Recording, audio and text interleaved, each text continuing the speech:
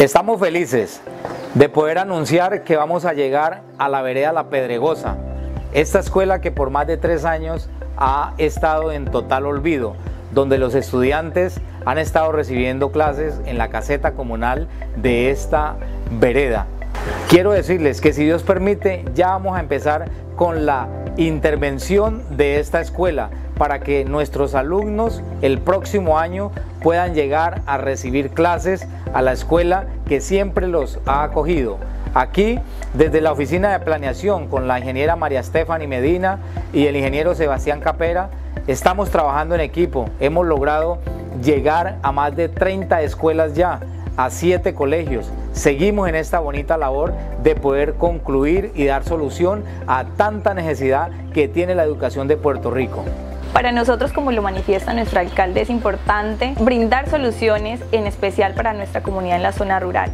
Esta necesidad se presentó eh, y fue una de las que se priorizó y actualmente nos encontramos avanzando en temas de infraestructura. Esto con el fin de mejorar la calidad del servicio, de la educación y llegar a estas comunidades que han sido tan olvidadas.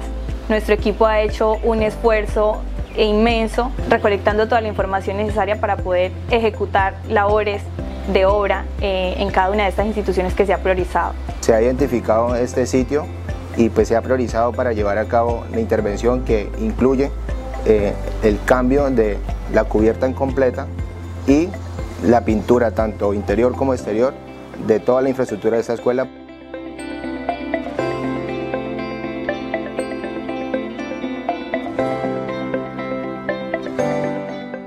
Bueno, es así como continuamos llegando a muchas escuelas, como también a colegios, y no solo con infraestructura, también con tecnología, con material didáctico y deportivo para todos nuestros estudiantes.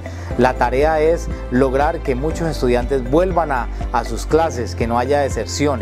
Es nuestra meta. La educación es un paso hacia el éxito de una familia y de cada estudiante.